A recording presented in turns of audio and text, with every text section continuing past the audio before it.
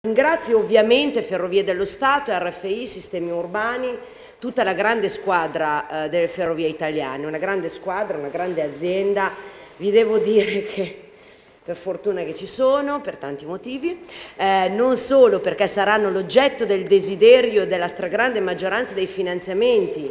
eh, di, dei Recovery Fund del piano, del piano del Ministero delle Infrastrutture e dei Trasporti, Italia Veloce ha tanto su tutti i sistemi trasportistici, ma sostanzialmente si basa su un'accelerazione e implementazione di tutti gli investimenti ferroviari, perché ormai è abbastanza chiaro che sia sul fronte eh, merci e quindi per dare maggiore competitività e velocità alle imprese, sia sul fronte passeggeri, senza un, il massimo possibile degli investimenti ferroviari noi corriamo il rischio al nord come al sud di non recuperare alcuni deficit che noi invece abbiamo accumulato negli anni passati. Quindi qual è il disegno, qual è la visione? Io non entro negli aspetti tecnici perché ritengo che come vi dicevo prima eh, eh, Ferrovie dello Stato sia, sia stata già eh, capace di illustrare gli aspetti tecnici più importanti. Io mi soffermo solo sulla visione di città e di trasporto che c'è dietro a questo progetto e alla firma di questo protocollo di intesa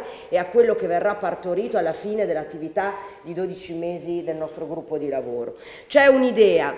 di stazioni che sono luoghi di vita e non solo di transito e lo abbiamo visto quando abbiamo, siamo stati obbligati a normare in maniera peraltro anche molto dettagliata le attività nelle stazioni dopo Covid. Ci siamo resi conto tutti improvvisamente che le stazioni sono luoghi di vita e più sono belle, più sono vivaci, più hanno al loro interno un contenuto di tipo commerciale, di attrattività e più quei luoghi diventano strumento, porta di accesso affascinante e fascinosa per coloro che vogliono recarsi eh, nelle città. C'è un'idea importante e determinante per Italia Veloce, determinante per il governo, determinante per me di intermodalità noi non abbiamo nessuna possibilità di abbattere eh, diciamo così, la, la, il livello di inquinamento delle nostre aree, soprattutto del nord. Io sono una donna che vive sulla via Emilia, eh, eh, che ha uno dei nodi ferroviari, vive in una città che ha uno dei nodi ferroviari più importanti del paese, che ha lo snodo nel nord-ovest tra il nord, il sud, l'est e l'ovest